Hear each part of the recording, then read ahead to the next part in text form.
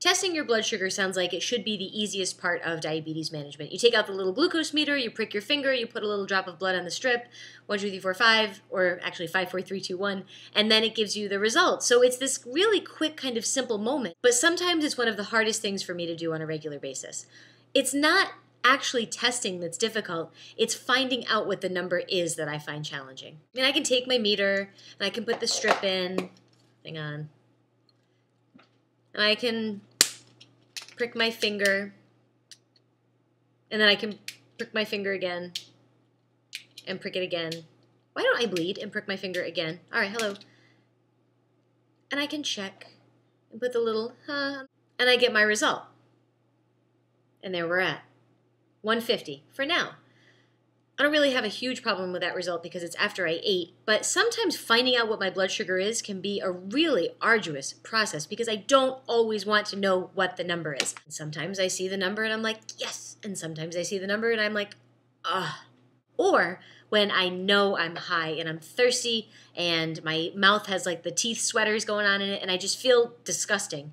And I don't want to see that my blood sugar is 300. I want to see that it's 104 all the time. And it's not.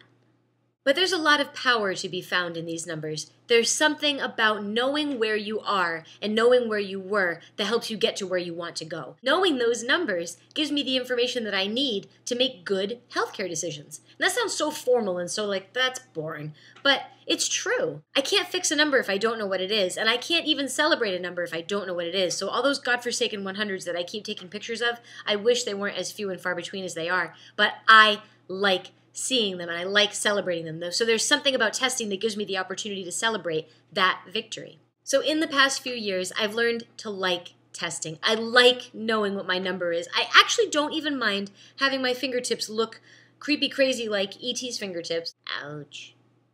And I find that the more I test, the better control I have.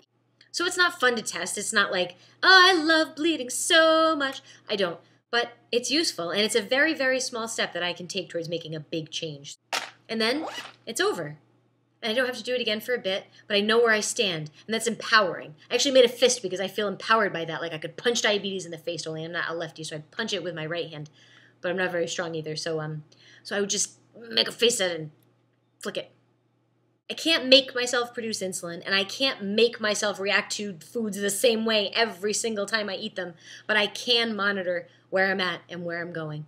And even if the tool feels remedial at times, you know, blood from my finger, uh, I need to keep testing. It's important to keep testing. And I have to remind myself that these numbers matter because I matter. That sounds so cheesy. Sorry.